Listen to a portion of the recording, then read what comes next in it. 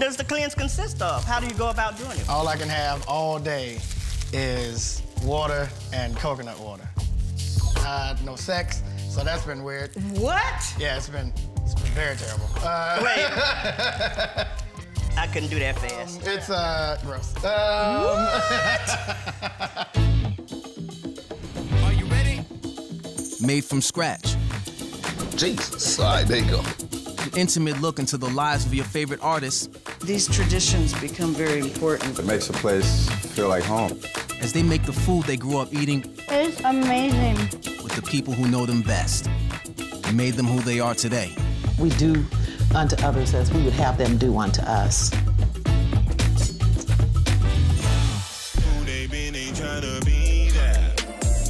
Two-time Grammy Award winner and vocal pioneer T-Pain makes his childhood favorite a one-of-a-kind beef pie with his mom Aaliyah, Well, I've been doing this since you was born. oh my goodness. despite being on a liquid diet cleanse. I'm gonna have to read all the guidelines of this diet one more time. And later, One vanilla. modern-day Renaissance woman and three-time Grammy-nominated singer, songwriter, and poet Jhené Aiko talks music, healing, and more with her mom Christina as they rock vegan tacos. What is the cheese made out of? Vegan. I know vegan, but what?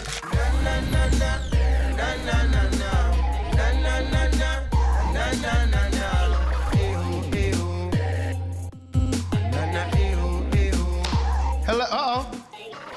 it going? All right now. How's it going? Oh, great. It sure is, it sure is. I'm good, I'm good. I thought I'd come and fix you your favorite meal since you've been on the go, on the go. I have. I have. know, I I haven't know. eaten real food in a while. You know what that is. I, I sure do, because I can see everything. you I can see, see it all all. the ingredients and everything going Oh, on. Oh, boy. Oh, yeah. I just call it Mama's beef pie. We actually have our ground beef. Sure do. We have the corn. Yep. And we have the vegetables. Oh, Once we do all that, then we actually do a tomato base. But we actually put our seasonings in it to make it really, really good. And this is something that I'm using. If you read that, Slap your mama. don't ever try that. Not gonna do it. So, oh, boy. yeah, This so- is gonna be terrible. What, um... well, because I'm doing this, like, I'm doing like a little cleanse right now. I'm not allowed to eat, but I might have to break that real quick. I don't know. Proud of you. Stronger every day. Yeah. what does the cleanse consist of? How do you go about doing it? What It's is just it? liquid. It's just liquid. No intake of uh, solid foods or anything like that. It's literally all I can have all day is water and coconut water. Uh, no sex, so that's been weird. What? Yeah, it's been it's been very terrible. Uh, Wait. I couldn't do that fast. it's uh, gross. Um,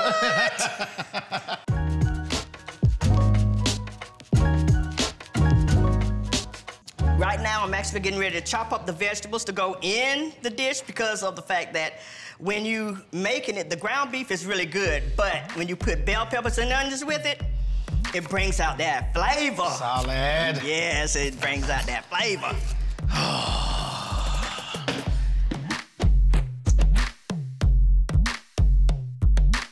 This meal is important to me because I, uh, you know, grew up, you know, whole family household. Everybody always gathered around for dinner. Nobody, you know, took their food in their rooms or anything like that. And this is a, a real nostalgic meal for me. I mean, it's important to me because it just takes me back to humble beginnings. This is what you need in life, you know, once you get as big as I am, uh, career-wise and size-wise, uh, you know, you, you, you need, not anymore, not with that cleanse. Come on. Let's get electrified. Now, right now, what I'm gonna do is I'm going to add the seasonings to this, and I have to watch myself because I'm heavy-handed, and that's chili powder. Oh my God, it smells so good. This was the worst scheduling of all time. This is the garlic powder.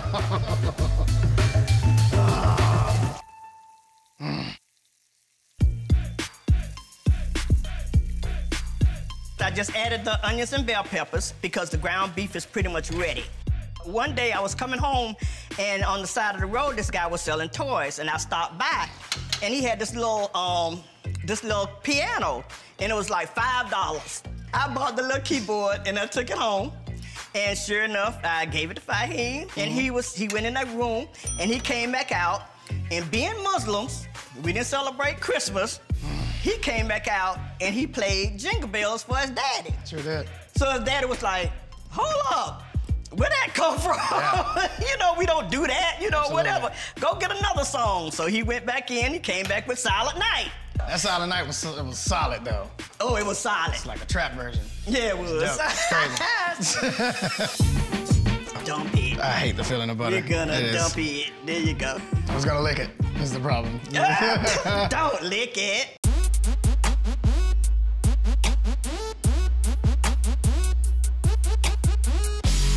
We're gonna drain the beef, because now you can't have all of the fat in the meal, right? So you got the Oh, drain it. Jesus, look at all that. You got the drain it. See? I'm gonna have to read all the guidelines of this diet one more time. Seems like all the stuff I want. Are you sure this is a part of this? Well, I've been doing this since you was born. Oh my goodness. We're gonna go ahead and add the corn to this. Oh. And the corn is actually brings out the sweetness of the ground beef. So, It sure does. what we're gonna do is we're gonna actually add in the tomato sauce. Oh, and now the only thing that we're gonna actually add as far as seasoning to this would be the slap your mama so it could have the spice to it, but it should actually have a blend already from the ground beef. We're gonna actually make the cornbread. So I guess the first thing we're gonna do is we're gonna actually open up the packages. Okay, that's that's important. Boom. Okay. Like nothing. I would eat this right now. Just exactly Just how like it it is. is. God, mm. dog. Put that stick of butter in there, The whole thing? the whole thing. It's Cholesterol right here. There you go. I hate the feeling of butter. We're gonna It is. dump it. And then we're gonna do a half a cup of sugar. I was gonna lick it. This is the problem. Ah, don't lick it. Just that. Just dump the whole. Just dump the whole All thing. right. Okay. Oh, look at that. And then we're gonna actually put the milk in. Ah, And you're gonna mix it. There you go. ah. Don't be scared. All right. Okay. This is complete actual torture. Oh boy. There we go. I've seen this on TV before.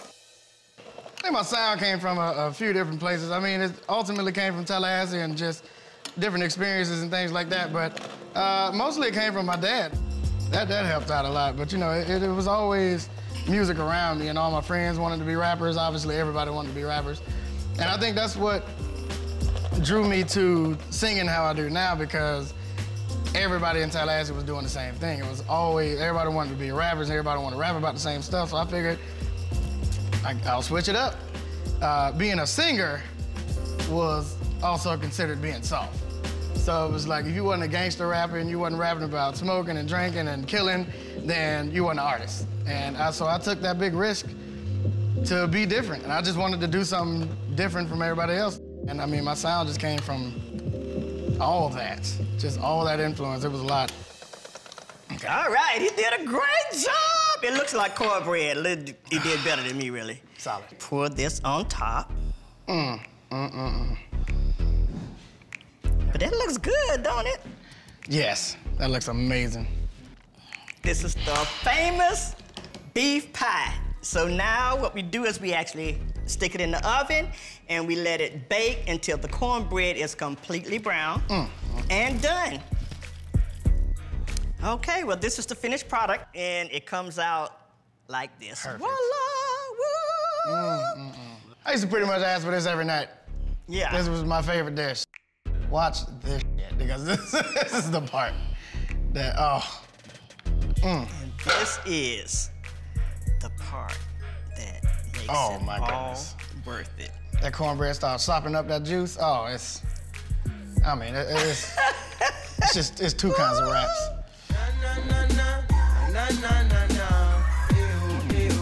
Well, I'm proud of you for what you're doing, really. As Thank far you. as, you know, trying to build your energy up and, get, and keep your health straight and stuff of this nature, I will definitely come back and fix that for you Please after do. your seven days. Oh, my so God. let me know. Everything came out pretty good. Tastes okay. I, you know, I'll taste it. Take your word for it. Whew. Mm. Mm-hmm. I thought about some pictures I had, see. and I thought I'd pull some out. I said, you're gonna get a kick out of these. Oh my goodness. Oh boy. Three days old. Good lord. Good lord. That was special. That is something else. Remember that one? I wanted to do this so bad. Remember that? I, we never could figure out how you did that. Oh my goodness, that is mm-hmm. so funny. You robbing you. Oh. Oh. Well, there's that. the Yeah. baby. That was dark. To think that you came from here. Mm-hmm. To this. But you did good. Thank and you, your Mom. family's proud of you. You know we do. We love you to death. I appreciate it. I Yeah, appreciate so, that too. you know, we, I pray for you every night. Keep you safe. Make sure you're happy. That's all that's important to me is that you be happy in whatever you're doing. It's working. Tell you Good. that. It is working. I Good. appreciate it. I, I see the progress. Yeah. Hey, like Nick Cannon told Kanye West today, I'm, I'm glad you're not in that sunken place, brother. Coming up next on Made from Scratch. I find it very therapeutic. Peeling potatoes? Peel potatoes. Okay. I ain't got nothing left but time you can't be wasting. I wasn't complacent, that's why I'm so amazing. We're ready to make tacos. We are making potato carrot tacos. Vegan. We need to do the prep because there's lots of chopping. Do you want them spicy? Medium. Okay. Are we doing the jalapeno in the potatoes or the guac? It's up oh, to you. and the potatoes. She's changing my recipe. Making it better. Yeah, she's making it better. I'm learning how to do this vegan since you're changing your diet. Don't you feel better when you're Actually, I do. I mean, you can tell it's healthier. everything just gets better. Okay, what else do I need? The onion. I started eating cleaner when I went to the hospital for like gallbladder stuff. Oh, that's right. At the time, I didn't have insurance, so they weren't trying to like do anything. They just sent me home. I just looked up like natural ways of like trying to correct that. And then I started eating vegan. Well, my thing is, I just enjoy the fresh, fresh vegetables, so I don't want something made like fake meat. That's why I like these tacos. What is the cheese made out of? Vegan. I know vegan, but what? Tofu? I, I'll look at the package for you and let you know.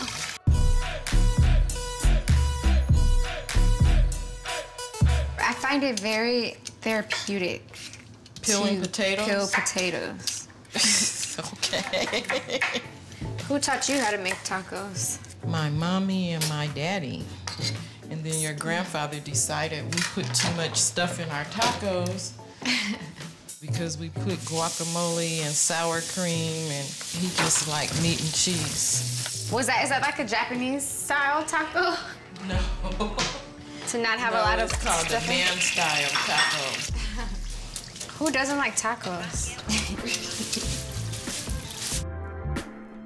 this is kind of like a fusion dish.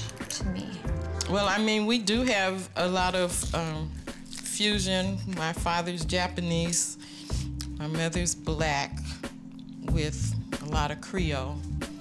So that's why we'll have black eyed peas and greens on New Year's, and we'll have sushi. And so, what's your favorite traditional foods that we have? Gumbo. I love Creole food. Whenever I'm in Louisiana, I really feel connected to my Creole roots. Is there a vegan gumbo? Yep. Oh, okay.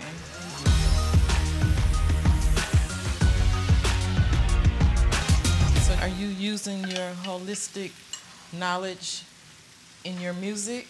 I don't have a song about being vegan, but I've been adding uh, sound healing into my music. Certain frequencies, certain keys resonate with different chakras. What I'm working on right now is incorporating the singing bowls into the songs. My singing bowls are in different keys. So if this if this is a song about love, then I want it to be in the key of the heart, which is F. That's the key. It's all science. Next on Made from Scratch, Growing up, I wanted to change my last name so so bad because no one could say it and no one, you know, everyone would mispronounce it and it was just like Let's take a moment, double back on everything that we made. Conquer villages to kingdoms, all the dragons we've slayed. I'm gonna add curry. Um, that's gonna be my special addition to your recipe. Okay. Do you want me to start making the shells? You could. You know, I like my shells crunchy. I was telling you I was gonna get you that book, The Seven Spiritual Laws of Success Yes. by Deepak Chopra. Yeah, I've seen that book. So there's seven laws, but my favorite one is the law of least effort. It's basically like going with the flow and having faith in the universe. Kind of go with the flow. Yeah, and that's what I'm doing with the music too. That's why every song on my next project is a freestyle, a free flow. That should be interesting. Yeah, everything is the law of least effort. Ooh, the sizzle. Got a little crunchy. Wow. Oh my God. That's the good part. Cajun style.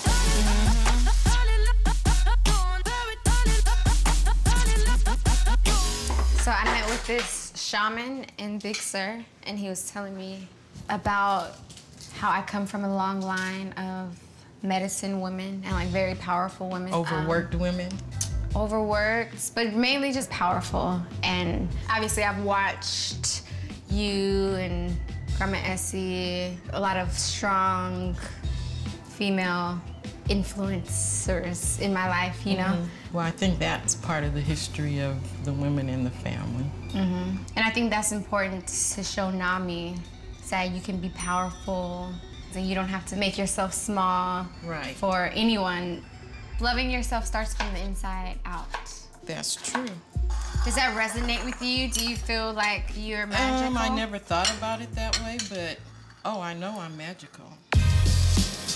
Okay, we're ready to make tacos.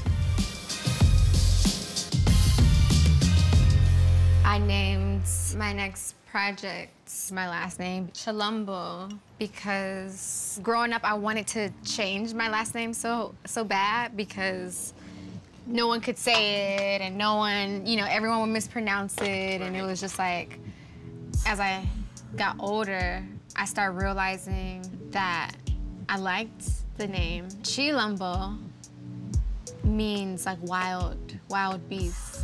As I come into my womanhood, I feel more free. Because a lot of times when I'm writing and there's a melody first, then I'm like thinking too hard about, oh, maybe I shouldn't say that. Maybe this will offend someone. But now, like with Chilombo, with this project, it's more just like about going with the flow, just trusting my intuition, having faith. That's it's more organic because Yeah. it's just what you were feeling. Exactly. The dragon phoenix is Chilombo, and that's the tattoo on my back.